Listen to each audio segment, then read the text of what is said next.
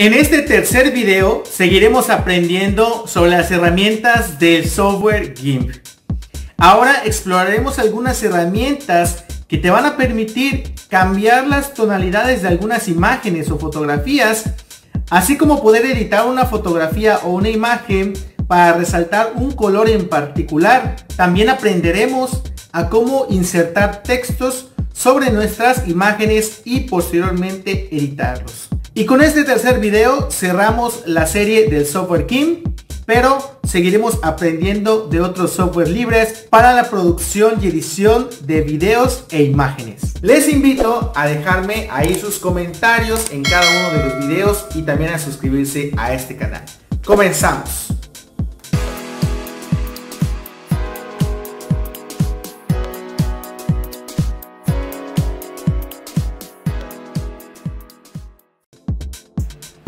Entonces ya vimos cómo quitarle el fondo a una imagen. Ya vimos cómo este cómo transformar una imagen, qué tantas transformaciones yo le puedo hacer a una imagen.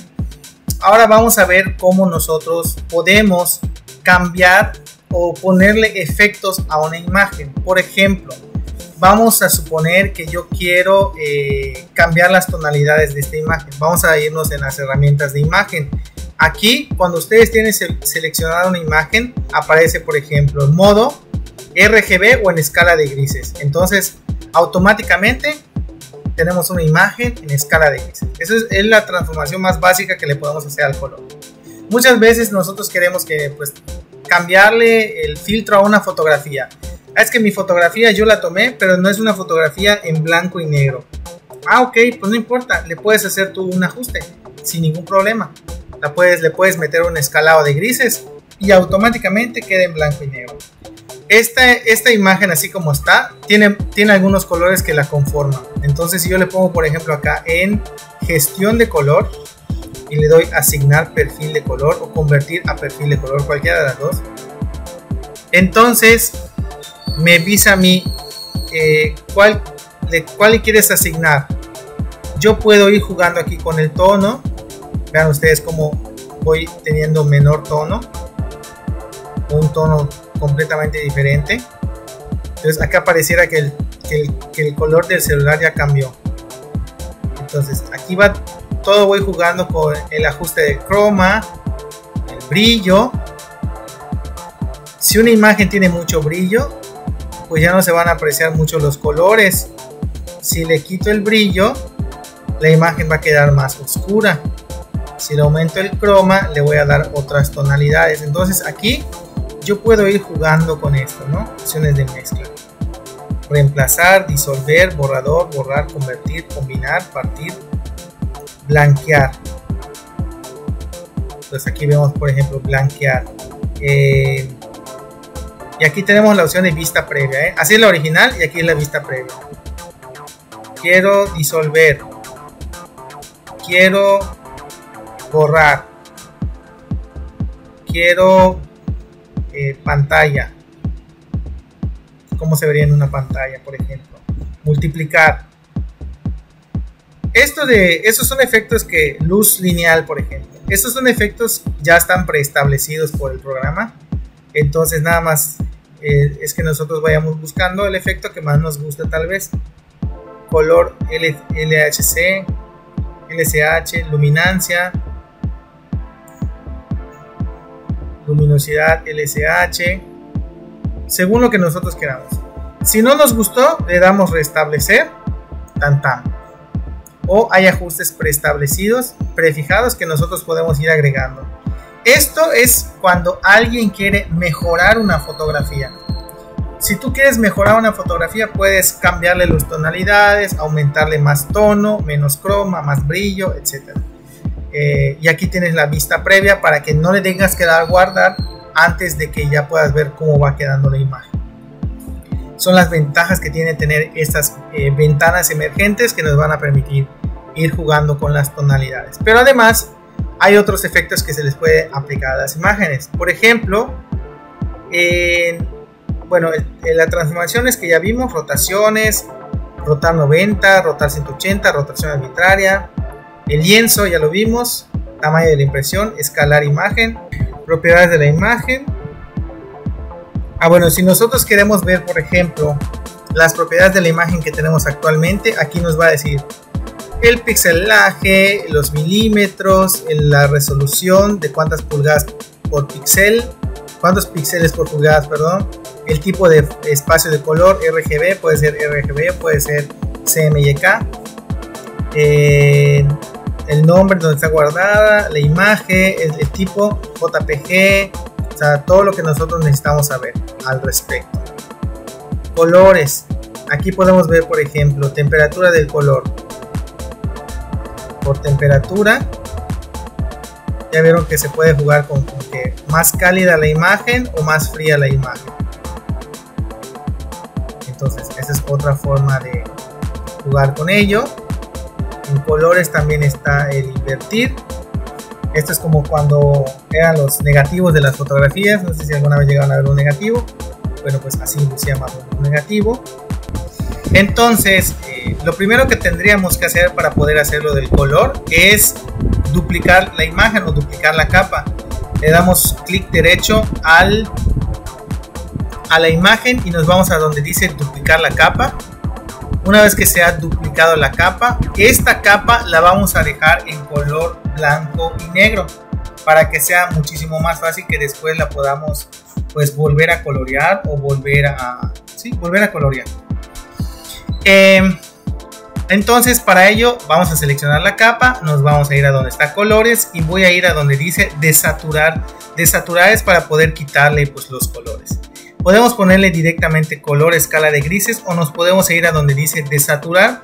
Esta opción es mejor porque no solamente me va a permitir tenerlo en, escala de grises o en blanco y negro, sino que además me va a permitir elegir el perfil. O sea, por ejemplo, hay perfil de luminosidad, hay perfil de luma, se alcanza a ver un pequeño cambio aquí en, en los colores, es uno un poquito más oscuro, luminosidad HSL, aquí se alcanza a apreciar un poquito mejor media intensidad.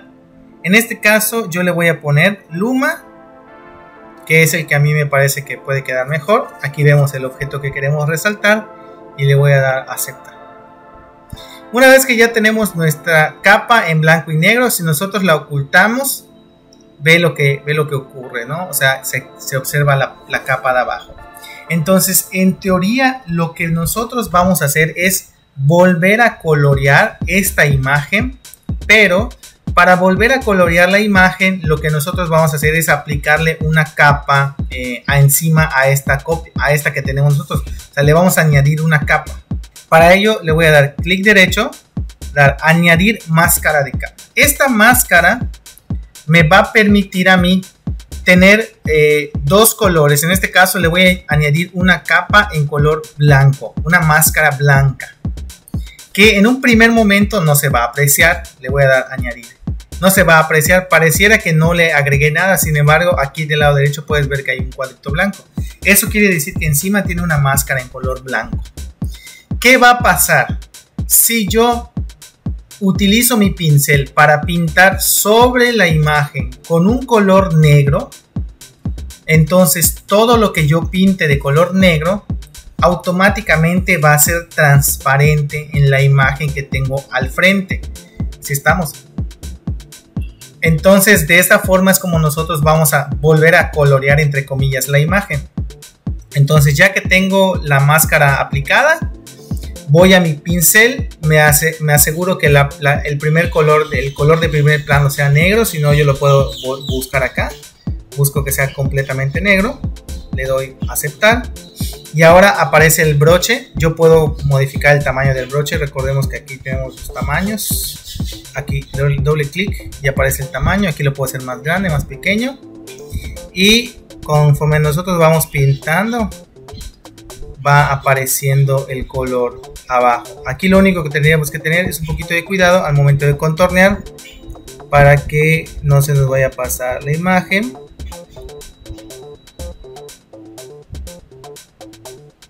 Y automáticamente pues esto ya va a ir quedando más o menos ahí del color del el color resaltado que nosotros queríamos es como volver a colorear la imagen. La ventaja es que como abajo tenemos nosotros el color original, pues únicamente va a, va a quedar resaltado este color. Pues más o menos así es como se hace para cuando tenemos una imagen y queremos solamente resaltar un color. Preferentemente que sea más llamativo. Ya vimos en general algunas cositas de cómo nosotros podemos cambiar los colores, tonos, saturaciones. Aquí por ejemplo brillos y contrastes. Podemos jugar con el brillo, más brillo, menos contraste o más contraste, menos brillo. Hacer que la imagen quede más oscura, más clara. Estas son como digamos las configuraciones normales o básicas de en cuanto a colores.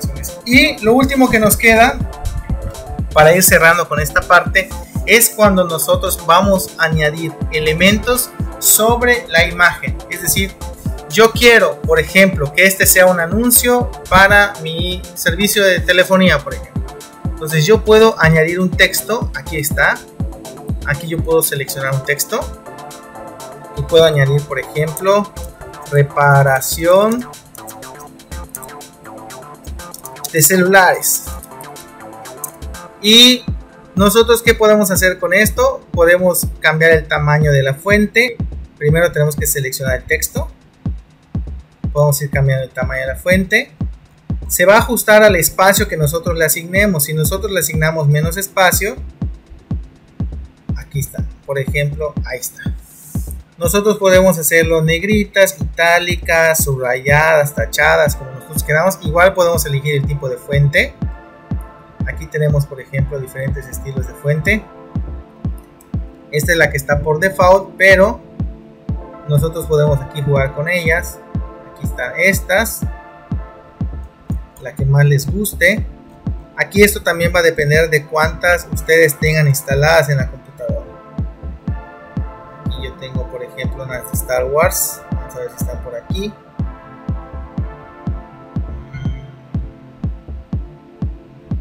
Star Jedi. Entonces por ejemplo yo aquí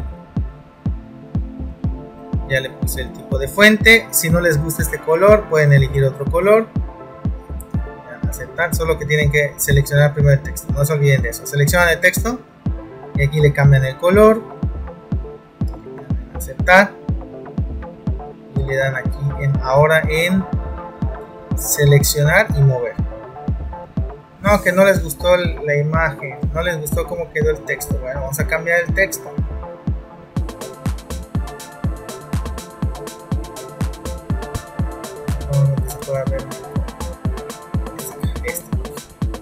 Entonces herramienta de selección. Ya nosotros tenemos acá reparación de celulares. Aquí hay algo que les puedo ir mostrando. Aquí esto es muy molesto cuando están haciendo diseño. Que se esté moviendo el fondo. Entonces, cuando ustedes agregan un texto, fíjense que automáticamente se agregó una capa nueva. No es que se agregue sobre la misma capa. Entonces, mi recomendación es, si ustedes están satisfechos con, con la imagen que quedó de fondo, entonces bloqueenla. ¿Cómo pueden bloquear esto de la imagen? Seleccionen la capa y en la parte superior de acá dice bloquear. Hay tres tipos de bloqueo. Bloqueo de... Aquí dice bloquear el canal alfa. Así que al canal alfa no le pase nada. Segundo bloqueo, bloqueo de posición y tamaño. Y tercer bloqueo, bloquear los píxeles. Entonces yo le puedo dar aquí las dos cosas. Para que entonces yo esté moviendo mi texto por encima y aunque yo seleccione la imagen de fondo, no pueda moverla sin querer. Entonces yo ya voy a estar tranquilo porque solamente voy a poder seleccionar el texto. Le voy a dar aquí reparación de celulares y le puedo agregar lo que yo quiera, más información, menos información, ponerle otra imagen de fondo, etc. Lo que yo quiero aquí que vaya quedando claro es que este programa por lo general nos va a servir para editar fotografías o imágenes, ¿sí? cambiarle las dimensiones, convertirlo de un formato a otro, cambiarle las tonalidades, eh, cambiarle la perspectiva, hacer una rotación, una transformación, agregarle un texto simple, hacer un difuminado, hacer un contorneado. Pero si ustedes quieren crear desde cero un, un cartel, una imagen, un anuncio, una invitación, lo que ustedes quieran hacer, entonces mi recomendación es no usar el GIMP porque es más limitado en cuanto a la, a la interacción de objetos. El Inkscape, que es el otro software que nosotros vamos a ver, ese nos va a permitir ya crear más precisamente este tipo de imágenes que se llaman imágenes vectoriales. Y podemos hacer todo tipo de cosas. Por ejemplo, esta yo la hice con el Inkscape. Entonces vean todo lo que nosotros podemos hacer. Podemos hacer este, fondos diferentes, fondos difuminados, y agregar textos, agregar imágenes y todo.